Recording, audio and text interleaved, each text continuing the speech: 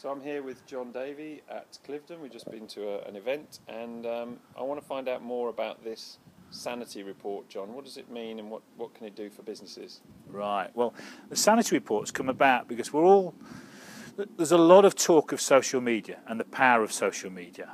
Um, a lot of that talk is obviously coming from the likes of Facebook, Twitter, and people who have got a vested interest in making it hot and popular. Um, but how many people are truly engaging there? Um, and if they are engaging, can they help you? Can they help me as an organisation? You know, I'm trying to run a business. I'm, I'm trying to make things happen.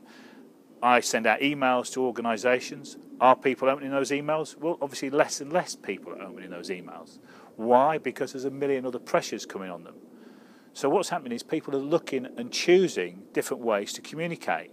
And some will have a preference for Twitter, others will go over to Facebook. We're all going to have our own channel. And the key is, as a business, to be talking to people through the channel that they prefer. So, how do we find that out? We go and find a person, we've got an email address. We can spend two hours looking for that person on a bunch of social platforms in a manual sense. Or you can just give me the list, I'll run it through our washing machine, and it'll come out with a list of people that are on that, you know, the, the, different profiles that they've got. So it'll tell us where they are on Klout, where they are on Twitter, where they are on Facebook, where they're hanging out. The next step then is to look at those people and, and then start filtering. So that's where the intelligent bit kicks in. But that first piece, it's a great solution in terms of a quick solution to quickly find the information which I can quickly deliver. So the sanity report is a bit of a data cleansing tool for social media channels. Exactly, right? yeah. So from an email address, we can establish where individuals are hanging out, where your database, where your contacts are hanging out, if indeed they are hanging out there. You know, it could people have Twitter accounts, but are they using those Twitter accounts? You know, you end up with a list of you know a thousand Twitter accounts, but probably you know 200 of those are worth looking at. The rest are just there because somebody thought, oh, I better set up a Twitter account, but then they've actually not used it. And then when a, when a business gets a sanity report and they've got the data and they've profiled it, what, what do they do then? How do they move it forward? Who helps them with that? Well, we can assist them with that as well. So the whole point is that the, the, the sanity report is a starting point.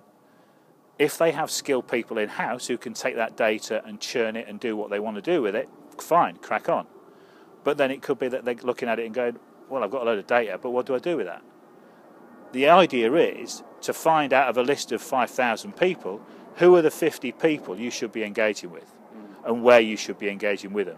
Because you want people who are vocal to be repeating your message, if you like, to championing your cause, to be your um, what's the word, Mark? Influencers. Influencers, ambassadors. You know those key words. That's what we're all looking for. Well, we've got to find them, you know. And yes, you will know some of them by definition because you'll have been out networking, you'll have talked to people, you, you're in that industry, so you're going to know some, but you're certainly not going to know all of them. Um, and so you might be surprised in what you find. And how do we get a sanity report, Jon?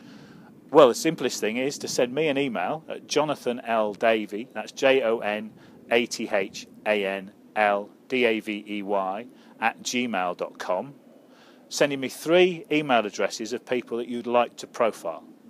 I will then run them through the machine. I'll send that back to you. We can then start talking. Great. Thank you very much. Cheers, Mark. Thank you.